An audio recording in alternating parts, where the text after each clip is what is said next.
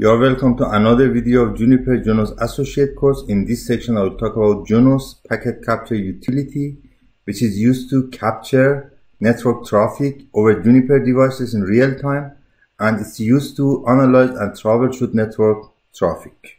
To start implementing Juniper SRX Packet Capture Utility, let's first review the topology on which we will capture the traffic.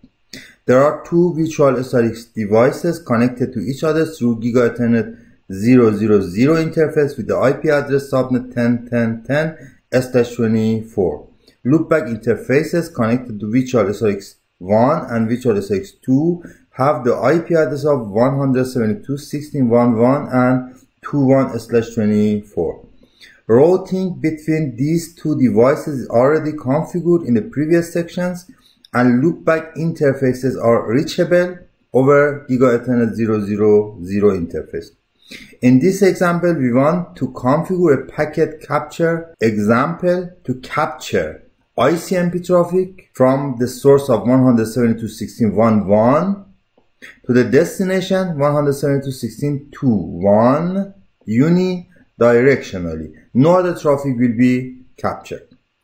How packet capture is configured in Juniper devices? The first step is to enable packet capture and configure the capture output to be written to a file. I choose the file name capture one to save the capture result. Then we write a firewall filter to match the traffic that we are going to capture here.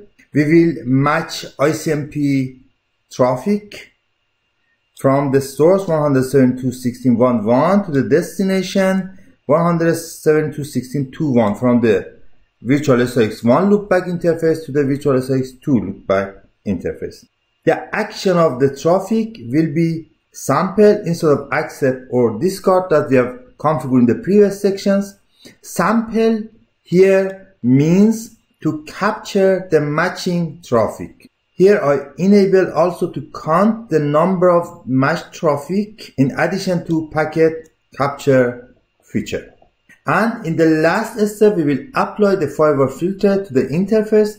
In this example, we will apply it to Giga Ethernet 000 in virtual SRX 2 device. We don't have to forget to disable the packet capture when we don't need it anymore the easiest way is to disable packet capture in forwarding option. Now let's copy and commit the configuration virtual SRX2. Copy, copy the configuration virtual SRX2 and then commit. To check the configuration result, I will ping between these two loopback IP addresses from virtual SRX1 ping 172.16.2.1 with the source of 172.16.1.1.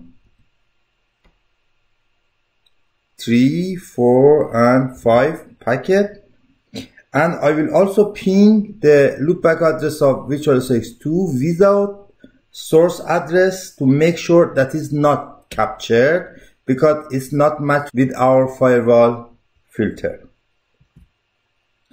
The capture result will be stored in slash var slash temp directory. Let's check it. Run file list slash var slash temp directory.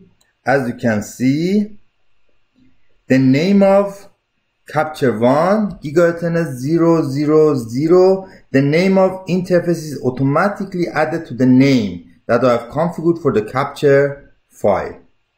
Before checking the content of the file, we don't forget to disable the packet capture as I've already explained with the command set forwarding options packet capture and then disable and then commit. To see the content of the file I will copy it to the Windows machine to check it with Wireshark software with the command run file copy slash var slash temp and then capture. One to the SCP with the username Majid and then at sign the IP address of the machine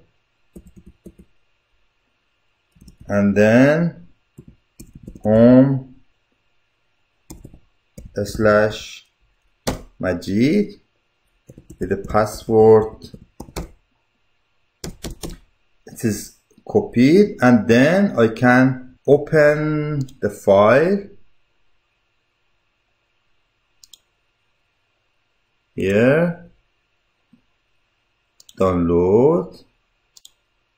And open it with Wireshark. File. Open and then capture as you can see unidirectional ICMP traffic from 172.16.11 to 172.16.21 and ICMP ping request. There is no reply. Here is captured. To show also the number of packet matched and captured, we can check with the show firewall command. Run show firewall. As you can see, five packets are captured and matched with our traffic in firewall filter.